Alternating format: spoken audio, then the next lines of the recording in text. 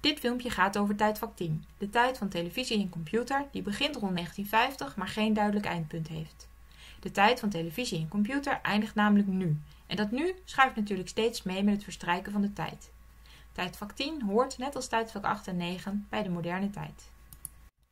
De kenmerkende aspecten van dit tijdvak zijn de verdeling van de wereld in twee ideologische blokken in de greep van een wapenwedloop en de daaruit voortvloeiende dreiging van een atoomoorlog, de dekolonisatie die een einde maakt aan de westerse hegemonie in de wereld, de eenwording van Europa, de toenemende westerse welvaart die vanaf de jaren 60 van de 20e eeuw aanleiding gaf tot ingrijpende sociaal-culturele veranderingsprocessen en de ontwikkeling van pluriforme en multiculturele samenlevingen.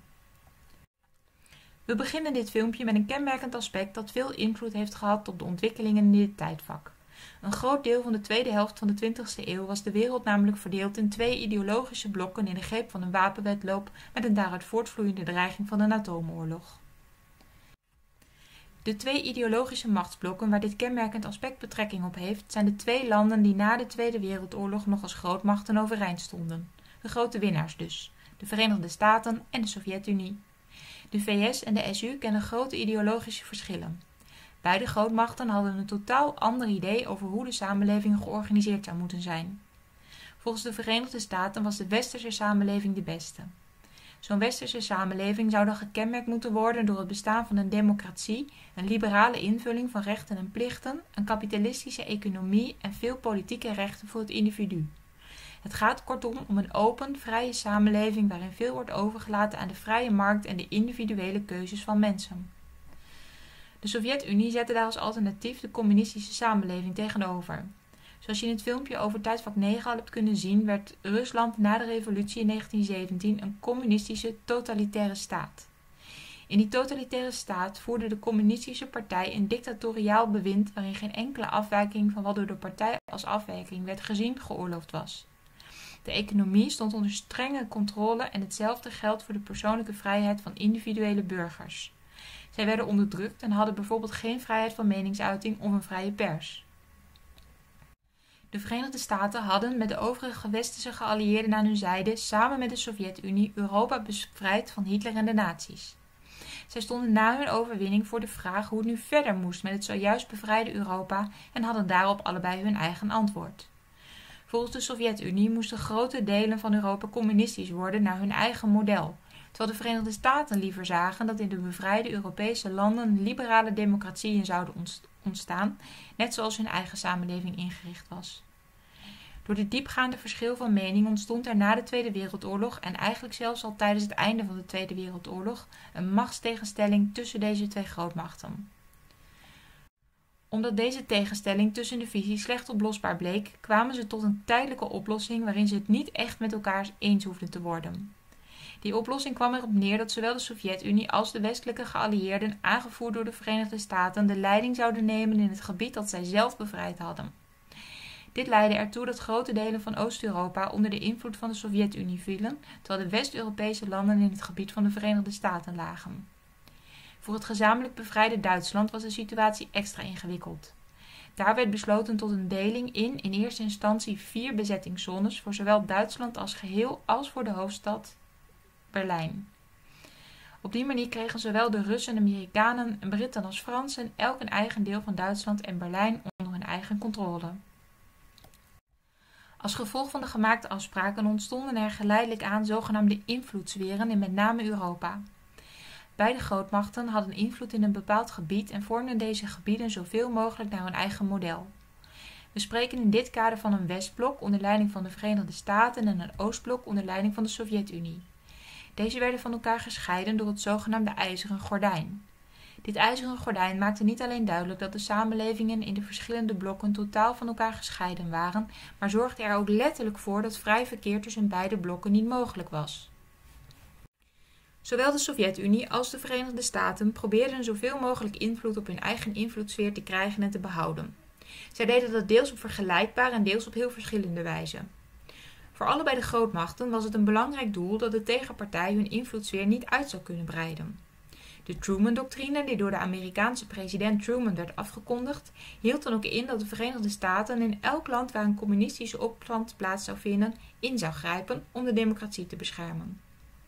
Om de kans dat het communisme aantrekkelijk werd voor de bevolking van het door de oorlog in puin liggende Europa te voorkomen, kwam de Verenigde Staten bovendien met Marshallhulp. Deze Marshallhulp hield in dat de Europese landen financiële steun van de Verenigde Staten kregen om hun economieën weer op te bouwen, maar was ook duidelijk bedoeld om een dam op te werpen tegen de eventuele uitbreiding van het communisme.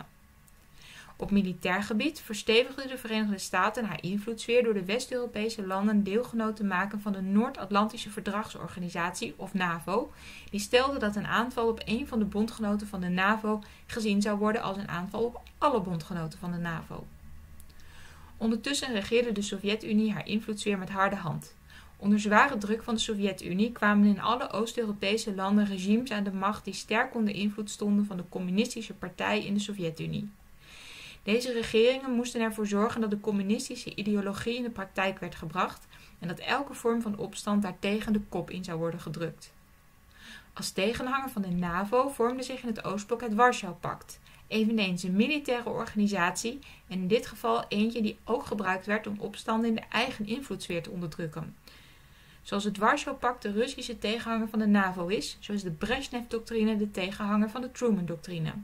De Brezhnev-doctrine werd uitgevaardigd door de communistische leider Leonid Brezhnev en hield in dat de Sovjet-Unie overal waar anticommunistische opstanden plaats zouden vinden, zou ingrijpen. Slechts enkele jaren na de Tweede Wereldoorlog werd het Oostblok min of meer uitgebreid doordat het communisme zich verder verspreidde in Azië. Na een lange binnenlandse strijd kwam daar in 1949 de communistische leider Mao Zedong aan de macht met steun van de Sovjet-Unie. Mao wilde van China, net als eerder met Rusland was gebeurd, een communistisch land maken en sloot daarin aan bij de Russische bondgenoot. Vanaf het einde van de jaren 50 ging het communistische China echter steeds meer een eigen koers varen, die min of meer losstond van die van de Sovjet-Unie. Hoewel de enorme hoeveelheid Aziatische communisten door het Westblok als een bedreiging werd gezien, vormden zij dus niet echt één harmonieus machtsblok in samenhang met de Russen. De dingen die de beide grootmachten deden waren erop gericht de eigen invloedssfeer te behouden, maar vooral ook op het inperken van de ander. De angst dat het kapitalisme zich uit zou breiden was groot in het Oostblok en in het Westblok gold exact hetzelfde voor de angst dat het communisme zich uit zou breiden. Vanuit die angst ontstonden er steeds meer en steeds fellere tegenstellingen tussen Oost en West. Die strijd noemen we de Koude Oorlog. In tegenstelling tot in een warme oorlog wordt er in zo'n oorlog niet daadwerkelijk gevochten, maar bestaat er wel de constante dreiging dat dat zou kunnen gaan gebeuren. De angst dat er toch een warme oorlog uit zou kunnen breken zorgde ervoor dat voor beide grootmachten het wapenbezit een grote zorg werd. Je moest er immers voor zorgen dat je tenminste de ander ook zou kunnen vernietigen in het geval dat het op wapengeweld uit zou komen. Het gevolg van deze zorg is dat het idee ontstaat dat je minstens evenveel, maar liefst nog meer wapens nodig hebt dan de ander. En dat inspireerde vervolgens een wapenwedloop, waarbij beide partijen steeds meer en meer wapens gingen maken omdat beide grootmachten ten opzichte van elkaar geheimzinnig deden over het aantal en het soort wapens waar zij over beschikten, leverde dit een continue angst op dat de ander voorlag. Hoewel spionnen af en toe een tipje van de sluier op konden lichten, overschatten de beide partijen elkaars wapenarsenaal voortdurend, waardoor de wapenwedloop steeds heviger werd. Zeker in het geval van de nog gloednieuwe atoomwapens was er sprake van een continue impuls aan het wapenarsenaal vanuit de angst om onder te doen voor de ander. In deze Koude Oorlog vonden er een aantal grote conflicten plaats die echter nooit op daadwerkelijk onderling geweld uitdraaiden. Al in 1948 blokkeerde de Russische leider Stalin het verder geheel in de oostelijke invloedssfeer liggende westelijke gedeelte van Berlijn. Hij deed dit uit onvrede over het feit dat de westelijke geallieerden hun bezettingszones aaneensloten en daar een nieuwe munt invoerden, maar had weinig succes met zijn actie. De westerse geallieerden zetten namelijk een luchtbrug op en wisten zo West-Berlijn continu te bevoorraden vanuit het Westblok, met als gevolg dat Stalin in 1949 de blokkade weer opgaf. Diverse voorvallen leidden in 1949 echter wel tot de deling van Duitsland in twee aparte landen, waarmee het tijdelijke idee van de oorspronkelijke deling toch echt wel tot het verleden ging behoren. De Bundesrepubliek Duitsland, of BRD, hoorde bij het Westblok, en de Deutsche Democratische Republiek, oftewel de DDR, hoorde bij het Oostblok. Hoewel deze deling wel gepaard ging met enige spanningen, werd de situatie er voor beide partijen tot op zekere hoogte wel duidelijker van. En hetzelfde geldt eigenlijk ook voor de bouw van de Berlijnse muur in 1961. Deze muur werd gebouwd om te voorkomen dat grote aantallen Oost-Duitsers via Berlijn naar het westen zouden vluchten. De grens tussen Oost- en West-Berlijn vormde namelijk als het ware een gat in het ijzeren gordijn waar via het oosten langzaam leeg dreigde te lopen. De oplossing was de bouw van een ondoordringbare muur die streng gecontroleerd werd. Het spannendste moment in de Koude Oorlog was echter de Cuba-crisis in 1962. In dat jaar waren de Russen voornemens om kernraketten te plaatsen op het communistische eiland Cuba, dat vlakbij de Verenigde Staten ligt. Hoewel zij zelf ook diverse raketbases hadden in de buurt van de SU, schreeuwde de VS moord en brand en legde een blokkade om het eiland die moest voorkomen dat de schepen met raketten er aan land zouden kunnen gaan. Na een aantal dagen van hoogoplopende spanningen en een nu werkelijk dreigende atoomoorlog bonden beide partijen in en kon de wereld weer opgelucht ademhalen. Na de Cuba-crisis zat de schrik voor een allesverwoestende atoomoorlog er echter bij beide partijen zo in dat er spontaan een periode van ontspanning of dooi in de Koude Oorlog aanbrak. Deze periode noemen we met een Frans woord détente en hield in dat er meer toenadering gezocht werd. De wederzijdse communicatie nam toe door enkele bezoeken van de leiders van de Sovjet-Unie en de Verenigde Staten over en weer en er werd een hotline, een directe telefoonlijn aangelegd tussen de kantoren van de hoogste leiders van de beide grootmachten. Ook werd er gesproken over de omvang en inperking van het wapenarsenaal. Door iets opener te communiceren over de eigen militaire mogelijkheden werd de angel enigszins uit de wapenwetloop gehaald. De afspraken hierover kregen vorm in de zogenaamde SALT-akkoorden, wat staat voor Strategic Arms Limitation Treaties. Ondanks deze ontspanning bleef de strijd tussen Oost- en Westblok echter op veel vlakken bestaan. Deze kreeg ook vorm in de onderlinge concurrentie op velerlei gebieden, zoals bijvoorbeeld de ruimtevaart. Beide partijen wilden elkaar laten zien dat ze tot heel wat in staat waren, zelfs in staat tot het laten landen van een mens op de maan. Laat in de jaren 80 begon tenslotte het begin van het einde van de Koude Oorlog. Terwijl de president van de Verenigde Staten een groot scheepsprogramma lanceerde voor een ruimteschild dat eventueel afgevuurde atoomraketten zou moeten kunnen tegenhouden, moest de nieuwe leider van de Sovjet-Unie toegeven dat de Russen deze wedloop niet langer vol konden houden. Mikhail Gorbachev werd de leider van de Sovjet-Unie en daarmee ging er een nieuwe wind waaien in Rusland. Zijn hervormingen waren erop gericht van Rusland een opener, meer welvarend land te maken en hij voerde daarom de zogenaamde glasnost in. Voortaan werd er een veel grotere mate van vrijheid van meningsuiting toegestaan en kwam er meer openheid in de politiek. De economische politiek perestrojka was erop gericht de Russische economie te moderniseren, zodat deze beter zou kunnen concurreren met de kapitalistische economieën van het Westen. Daarvoor werd de staatscontrole tenminste deels losgelaten. Ook de Brezhnev-doctrine werd losgelaten en daarmee werd een belangrijke stap gezet in de richting van de losmaking van veel landen in de oostelijke invloedssfeer. Zij konden zich nu openlijk distancieren van Rusland en hun eigen koers gaan varen, zonder bang te zijn dat de tanks van het Warschau-pact binnen zouden komen rollen. En dat is dus ook precies wat er gebeurde. Landen als Hongarije en Polen ontworstelden zich aan de invloedssfeer van de Sovjet-Unie en zetten de weg naar het westen open. Daarmee vielen er gaten in het ijzeren gordijn en verloor de Berlijnse muur een deel van haar functie. Als gevolg van de nieuwe wind die ook in Oost-Berlijn was gaan waaien, viel de muur in 1989, waarna de beide helften van Berlijn en de beide helften van Duitsland al vrij snel herenigd werden. Gaandeweg viel op deze manier als onbedoeld gevolg van de politiek van de Russische leider Gorbachev het Oostblok uiteen. Daarmee kwam er een einde aan de Koude Oorlog. Ook bij het volgende kenmerkende aspect speelt de Koude Oorlog, zoals we zullen gaan zien, in bepaalde opzichten nog een rol. Dat kenmerkende aspect gaat namelijk over de dekolonisatie die een einde maakte aan de westerse hegemonie in de wereld. In de koloniën was, zoals je ook al in het filmpje over tijdvak 9 hebt kunnen zien, onder invloed van onder andere nationalisme en een opkomend zelfbewustzijn verzet ontstaan dat gepaard ging met het streven naar onafhankelijkheid. Al naar gelang het belang van en de band met de kolonie reageerden de moederlanden verschillend op deze roep om onafhankelijkheid. We kunnen hun reacties grofweg indelen in drie typen. Over het algemeen gaven de moederlanden hun kolonie niet zomaar op, maar in enkele gebieden werd de onafhankelijkheid na onderhandelingen over de voorwaarden relatief gemakkelijk gegeven. Heel anders lag dat voor de gebieden waarin de belangen van het moederland groot waren, doordat er bijvoorbeeld veel mensen uit het moederland woonden of doordat het bezit van de kolonie nodig werd geacht voor de eigen economie. In nog weer andere gevallen speelden de tegenstellingen van de Koude Oorlog een duidelijke rol bij het dekolonisatieproces. Dat was vooral het geval in die gebieden waarin de onafhankelijkheidsstrijders samenvielen met communistische groeperingen die van het nieuwe onafhankelijke land een communistisch land zouden willen maken.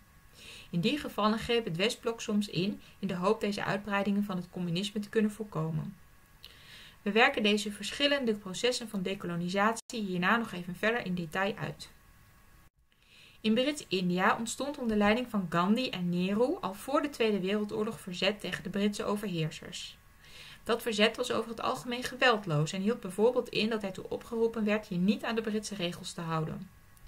In eerste instantie traden de Britten hard op tegen het verzet van de Indiërs, maar na de Tweede Wereldoorlog kwam er een nieuwe Britse regering aan de macht die wel bereid was India onafhankelijk te laten worden.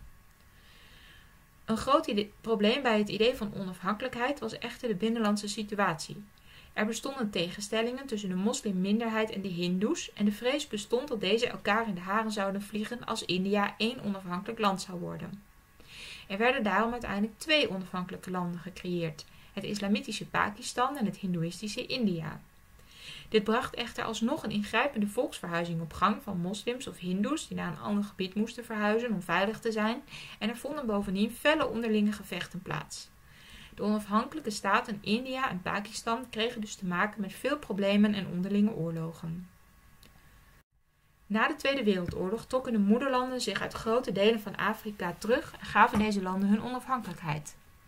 Net als India ging de organisatie van de pas onafhankelijk geworden landen ook in Afrika echter vaak niet van een leien dakje. Afrika liep op het gebied van economische ontwikkelingen, industrialisatie en infrastructuur ver achter en werd daarom gezien als de derde wereld, die economische steun nodig had van de Westelingen uit de zogenaamde Eerste Wereld en van de mensen uit de Tweede Wereld in het Oosten. Ook in veel Afrikaanse landen ontstond bovendien al snel politieke onrust, doordat verschillende volkeren tegen hun wil in in dezelfde staat terecht waren gekomen. Dat kwam doordat veel van de landsgrenzen in Afrika tijdens de periode van het modern imperialisme simpelweg met een liniaal op een kaart waren getrokken, zonder rekening te houden met de inwoners van die gebieden. Dit leidde tot bloedige burgeroorlogen, maar droeg er ook aan bij dat de invloed van het Westen op de voormalige koloniën zeer groot bleef. Zij steunen de derde wereld niet alleen financieel, maar steunen er ook de opbouw van westers gezinde regeringen. Eigenbelang speelde daarbij een grote rol, want het Westen wilde graag dat er meer westers gezinde landen in hun invloedssfeer kwamen en zij konden bovendien economisch profijt hebben van hun banden met de voormalige koloniën. De Afrikaanse landen, waar de economische belangen van de West-Europese landen al langere tijd groot waren, kennen vaak een veel moeilijkere decolonisatiegeschiedenis dan de hiervoor besproken Afrikaanse landen. Hoewel Egypte al in 1922 onafhankelijk werd van Groot-Brittannië, hielden de Britten daar nog lange tijd een stevige vinger in de pap door het Suezkanaal in eigen hand te houden. Hun motief daarvoor was dat het gebruik van het Suezkanaal, dat in Egypte ligt en de vaarroute vormt vanuit de Middellandse Zee naar de Rode Zee, enorm groot was voor henzelf. Hun strategische belangen waren dus groot en de verontwaardiging toen de Egyptische leider Nasser in 1956 het kanaal nationaliseerde, was dat ook.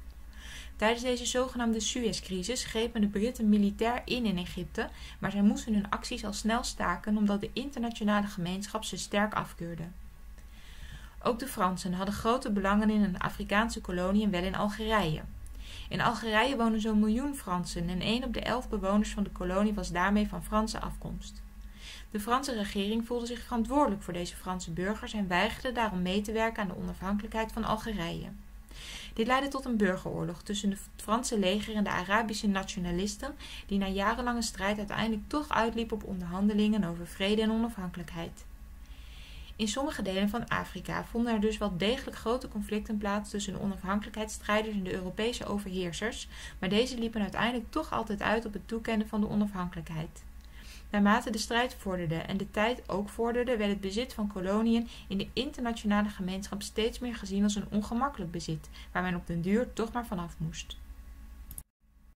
Ook Nederland trad vanuit haar eigen grote belangen kort na de Tweede Wereldoorlog hard op in haar kolonie Nederlands-Indië, maar moest dat land uiteindelijk toch onafhankelijkheid toekennen. Veel mensen in Nederland dachten in deze periode dat de Nederlandse economie niet zou kunnen draaien zonder het bezit van Nederlands-Indië als kolonie. Zij zetten hun argumenten daarvoor kracht bij met de leuze Indië verloren, rampspoed geboren en zorgden daarmee voor een sterke motivatie voor de zogenaamde politionele acties. Deze politionele acties werden zo genoemd omdat het er op die manier op leek dat het slechts politiemissies waren, maar in feite werd er tijdens deze twee politionele acties een keiharde oorlog uitgevochten in Indië. De partijen die streden voor de onafhankelijkheid van Indonesië waren tijdens de Tweede Wereldoorlog gestimuleerd door de Japanse bezetters en riepen kort na de capitulatie van Japan de onafhankelijkheid uit. De Nederlanders reageerden hierop door militairen naar Indië te sturen om het verzet op die manier te onderdrukken. Deze campagnes noemen we dus de politionele acties, maar ze waren weinig succesvol. Nu er meer en meer andere landen onafhankelijk werden, nam de internationale druk ook op Nederland toe om Indonesië onafhankelijk te laten worden, en dat is dus ook precies wat er in 1949 gebeurde. Niet alleen economische of staatsbelangen speelden een rol bij de pogingen om het toenemende verzet in de koloniën te onderdrukken. Ook de context van de Koude Oorlog speelde daarbij regelmatig een rol. Het bekendste voorbeeld daarvan is de dekolonisatie van Vietnam, die uitmondde in de Vietnamoorlog. De Fransen voerden een strijd tegen de onafhankelijkheidsstrijders in Vietnam, maar konden deze op den duur niet langer meer volhouden. Anders dan in andere landen waarbij de Verenigde Staten juist aandrongen op onafhankelijkheid, menen de Amerikanen dat de onafhankelijkheid van Vietnam een ramp zou worden, omdat de onafhankelijkheidsstrijders van een onafhankelijk Vietnam onmiddellijk een communistisch land zouden maken en mogelijk zelfs de, de Aziatische buurlanden als het ware aan zouden kunnen steken met het communisme. Uit angst voor uitbreiding van het communisme en de oostelijke invloedssfeer gingen de Amerikanen zich daarom met de Vietnamoorlog bemoeien. Deze bemoeienis veranderde steeds meer in een openlijke oorlog tussen de Verenigde Staten en de communistische vrijheidsstrijders van de Vietcong toen in 1964 het Tonkin-incident plaatsvond. Bij die gebeurtenis werd een Amerikaanse torpedobootjager aangevallen voor de kust van Noord-Vietnam. De Amerikanen zagen dit als een daad van agressie van het communistische Noord-Vietnam en het Amerikaanse parlement zag er daarom aanleiding in een resolutie goed te keuren die toestemde in het sturen van Amerikaanse soldaten naar het Aziatische land. Deze zogenaamde Vietnamoorlog zorgde voor vele slachtoffers, maar nauwelijks voor winst voor de Amerikaanse soldaten. Mede als gevolg van de grote media-aandacht voor het geweld in Vietnam keerde de publieke opinie in de Verenigde Staten zich uiteindelijk tegen de oorlog. In de sfeer van ontspanning die er na 1962 in de Koude Oorlog hing, besloten de Amerikanen zich eind jaren 60 uiteindelijk terug te trekken uit Vietnam en werd het land na enkele jaren onderhandelingen onafhankelijk met de belofte dat het communistische Noord-Vietnam Zuid-Vietnam met rust zou laten. Deze belofte werd echter al snel geschonden, waarna Vietnam één communistisch land werd. Terwijl de buiten-Europese politiek in deze periode in het teken stond van de Koude Oorlog en de dekolonisatie, werden er in Europa juist pogingen gedaan tot meer vrede en harmonie. Er werd namelijk gewerkt aan de eenwording van Europa. Na de Tweede Wereldoorlog wilden veel Europeanen voorkomen dat er weer een grote oorlog uit zou breken. Na twee grote en verwoestende wereldoorlogen werd er nu ingezet op samenwerking in plaats van oorlog. Al kort na de oorlog pleitte de Britse premier Winston Churchill, die je hier op het plaatje ziet, voor een soort Verenigde Staten van Europa en een intensieve samenwerking. De eerste stappen op weg naar zo'n samenwerking werden echter niet op Brits, maar op Frans initiatief gezet. De Franse minister Schuman kwam met een plan voor het samenvoegen van de kolen- en staalindustrie van tenminste Frankrijk en Duitsland. Dat zou er namelijk voor zorgen dat de beide landen niet zelfstandig meer voldoende wapens zouden kunnen produceren voor een oorlog.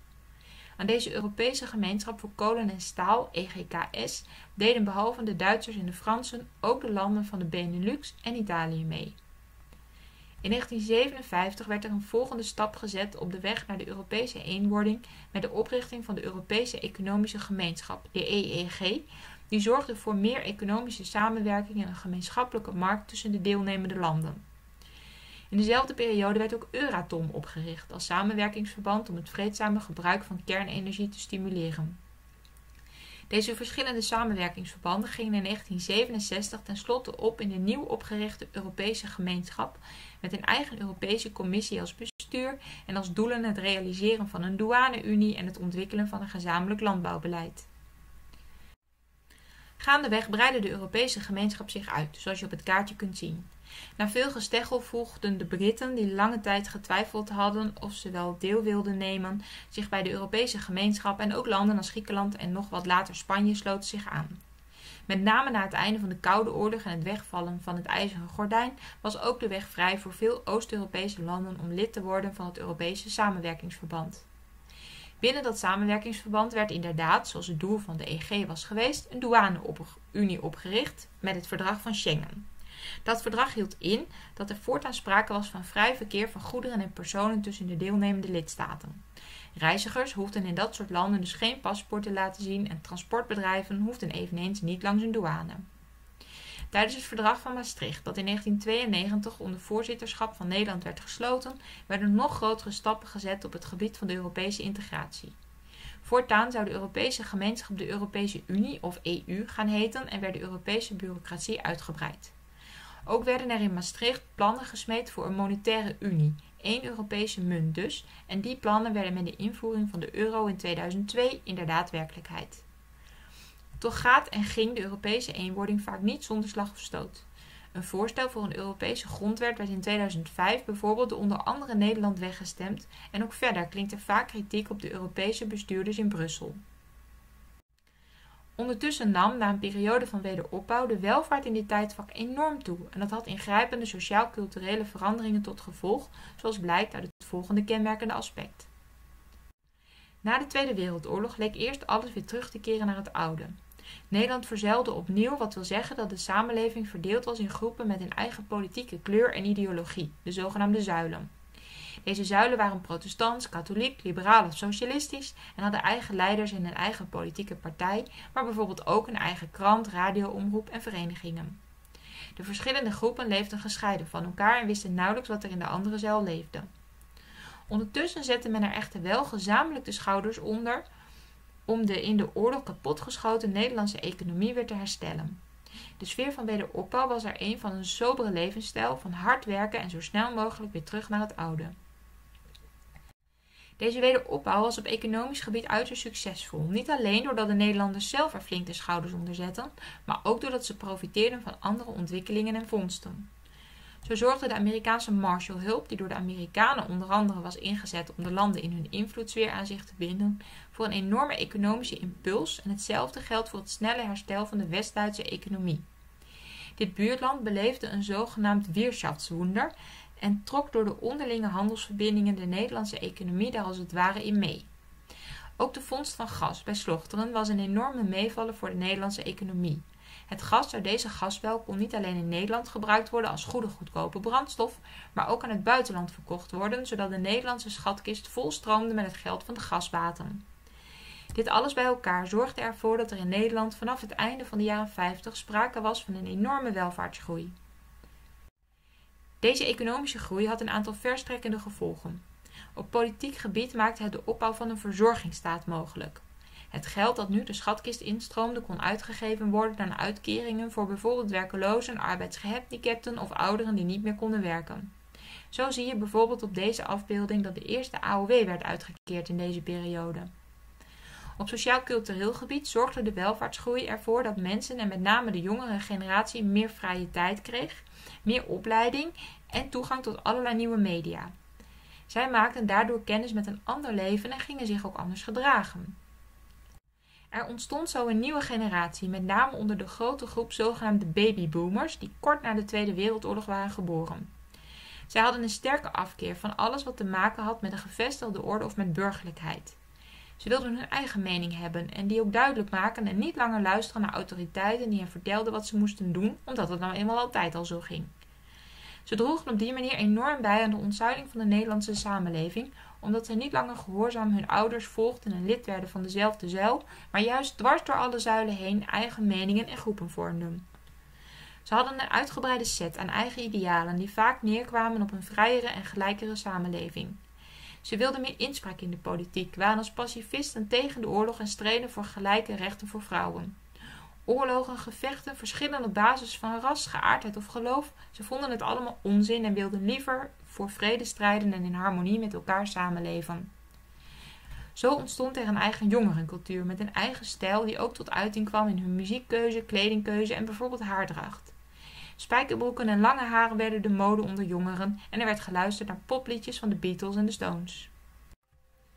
In dezelfde periode ontwikkelde zich in Nederland steeds meer een pluriforme en multiculturele samenleving. In de tweede helft van de 20e eeuw vond er namelijk veel migratie naar Nederland plaats door ontwikkelingen als de dekolonisatie en de komst van gastarbeiders en vluchtelingen. We werken deze drie groepen hierna nog even in wat meer detail uit. Na de dekolonisatie van Indonesië en het kort daarop verbreken van de onderlinge banden van Nederland met het pas onafhankelijk geworden land, waren Indo's, mensen van gemengd Nederlands-Indische afkomst, er niet meer welkom. Zij kwamen daarom vaak naar Nederland en hetzelfde geldt voor vele Molukkers. Deze mensen waren afkomstig van de Molukse eilanden in Indonesië en hadden tijdens de onafhankelijkheidsstrijd vaak aan de kant van de Nederlanders in het Koninklijk Nederlands-Indisch leger, het KNIL, meegevochten. Na de onafhankelijkheid werden zij als verraders gezien en daarom kwamen zij met de belofte weer terug te kunnen keren naar een eigen Molukse republiek, zogenaamd tijdelijk naar Nederland. Daar werden zij opgevangen in woonoorden, zoals het kamp Schattenberg dat gevestigd was in de barakken van het voormalige concentratiekamp bij Westerbork. Velen van hen bleven lange tijd hopen op terugkeer naar de Molukken, maar toen die wens uitbleef, zijn zij langzaam geïntegreerd in de Nederlandse samenleving. Ook de dekolonisatie van de Nederlandse kolonie Suriname in 1975 bracht een stroom migranten naar Nederland op gang. Sommigen van hen vreesden de politieke onrust die de onafhankelijkheid met zich mee zou brengen en kwamen daarom naar Nederland. Anderen zagen in Nederland betere kansen op onderwijs en werk door het veel betere onderwijssysteem en de goede werkgelegenheid. In de jaren 60 ging het zo goed met de economie dat Nederland niet alleen werkzoekers uit de voormalige koloniën aantrok, maar dat er ook vele migranten als gastarbeiders naar Nederland kwamen. De enorme vraag naar arbeidskrachten en de relatief hoge lonen verleidden velen naartoe een tijdje naar Nederland te komen om een flinke spaarpot op te kunnen bouwen. In eerste instantie waren dat vooral gastarbeiders uit Zuid-Europa, maar later kwamen ze ook uit onder andere Turkije en Marokko en nog later, nadat veel Oost-Europese landen lid waren geworden van de EU, uit Oost-Europa. Het waren en zijn veelal mannen die naar Nederland kwamen en komen met het idee hier snel geld te verdienen en dan weer terug te keren naar het land van oorsprong. Velen bleven echter hier, zeker nadat het toegestaan werd om aan gezinshereniging te doen. Dat hield in dat de gastarbeiders ook hun gezinnen naar Nederland mochten laten komen en zich hier permanent konden gaan vestigen. Een andere groep migranten die naar Nederland kwamen en komen zijn de asielzoekers die op de vlucht zijn geslagen voor oorlog, geweld en crisis. Immigranten uit het voormalige Joegoslavië ontvluchten de burgeroorlog daar door naar Nederland te komen en hetzelfde geldt voor onder andere Somaliërs en groepen migranten uit het Midden-Oosten zoals Afghanen en Irakezen. Zij zoeken en vinden in Nederland veiligheid en lijfsbehoud. Als gevolg van alle veranderingen en migratiestromen in dit tijdvak is Nederland, nog meer dan het in vroeger tijden al was, een pluriforme en multiculturele samenleving geworden. Een pluriforme samenleving wil zeggen dat er groepen mensen met verschillende allochtone of autochtone culturen bij elkaar leven. Het gaat dus niet alleen, zoals bij een multiculturele samenleving, alleen om groepen mensen met een verschillende etnische achtergrond, maar ook om groepen met een eigen subcultuur, zoals bijvoorbeeld tegenwoordig de LHBTI community. Niet iedereen voelt zich thuis in de multiculturele samenleving. Met name mensen die zich door de toenemende verschillen tussen arm en rijk achtergesteld voelen, zijn vaak ontevreden en richten een deel van die ontevredenheid op de immigratie van groepen mensen die, naar hun idee, hun banen en woningen inpikken. Het antwoord op de vraag hoe je om moet gaan met immigranten verschilt dan ook sterk van groep tot groep en van persoon tot persoon. Sommige mensen vinden dat immigranten prima hun eigen cultuur kunnen behouden, zodat er een multiculturele samenleving ontstaat waarin mensen met verschillende culturele achtergronden naast elkaar kunnen leven. Anderen verklaren zo'n multiculturele samenleving echter voor mislukt en vinden dat immigranten moeten integreren, wat wil zeggen dat ze toch tenminste een deel van de Nederlandse cultuur over moeten nemen. Immigranten moeten daarom bijvoorbeeld een inburgeringscursus volgen om de Nederlandse taal te leren spreken en de Nederlandse gewoontes te leren kennen. Weer anderen gaan nog een stap verder door te zeggen dat immigranten moeten assimileren, wat eigenlijk wil zeggen dat ze vinden dat de immigranten zich volledig aan de Nederlandse cultuur moeten aanpassen en deze moeten overnemen. Welke visie er op immigranten bestaat verschilt per politieke stroming, maar de debatten hierover worden vaak hard gevoerd. Zeker sinds politici als Pim Fortuyn en Geert Wilders van zich hebben laten horen, klinken deze discussies steeds luider, maar een eenduidige oplossing of überhaupt maar overeenstemming wordt er vrijwel nooit gevonden.